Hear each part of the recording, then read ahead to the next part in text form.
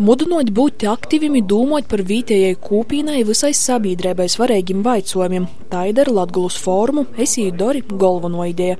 Ņem ar viedokļiem praktisko pieredzi Bolvu novada muzejā dalījos eksperti, kas saistīti ar aizsardzības nozari, austrumu robeža drošību.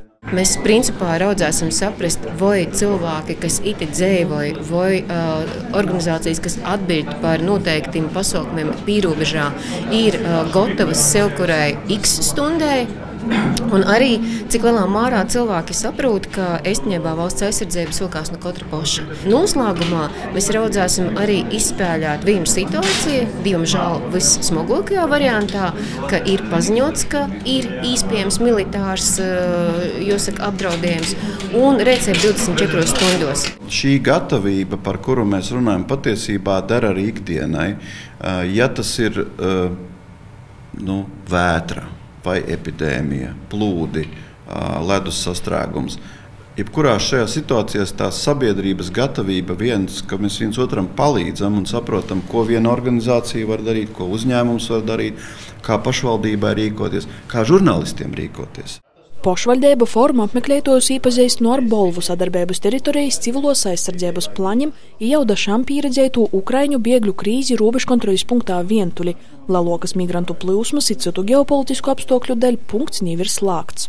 Ļoti aicinu sabiedrību, jebkuru Latvijas iedzīvotāju, gan arī privātos uzņēmējus, meža strādniekus, kas mežos strādā, ja, un īpaši pierobežu joslā, pierobežā būt pirmkārt modriem un manot aizdomīgas personas, nekavējoties ziņot, ja robežsardze, jebkurā robežsardzes struktūra vienībā mēs strādājam 24 reizes 7. Bolvi robežojās ne tikai ar Josika Krīveju, bet arī ar to teritoriju, kas savulaik ir bijusi Latvijas teritorija. Un tādā veidā mēs tikai esam pavisam tuvu austrumu robežai, tikām austrumu robežai visplašākajā izpratnī - Eiropas Savienības robeža, Latvijas robeža, Latgales robeža. Cīši liela prīca, ka atsauca arī Bolvu ģimnāzija un ka itamā brēdī būs klot arī jaunieši, kuri izīt valsts aizsardzības apvoicību.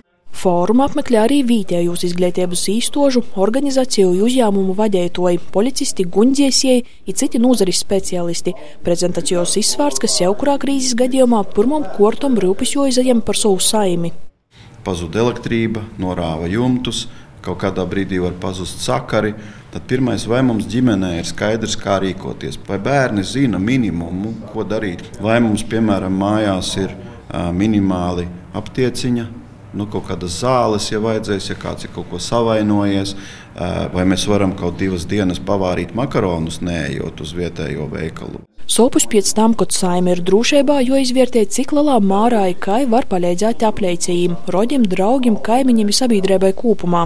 Jo lielāka ir tā bēda, jo vairāk vajag mediķiem palīdzību, jo vairāk vajag policijai brīvprātīgos, kas skatās līdzi, jo vairāk vajag ugunsdzēsējiem palīdzību. Nu, es nemaz nerunāju par to, ka ja katrs ir aicināts iz, izvērtēt, vai viņš tomēr varbūt var nākt zemes sarcē un arī krīzes brīdī būt gatavs būt arī bruņoto spēku rindā. Drošības fórums bija redzams arī tīšraidī YouTube lopā Latgulas kongress, kā arī Latgalīšu kultūras biedrības Facebook lopā, a jau 1. decembrī sekos diskusiju turpinājums tīši saistī, kur reģionālos augšskolu porstovi runos par identitātes mediju un sociālo steiklu ietekmi uz drošību.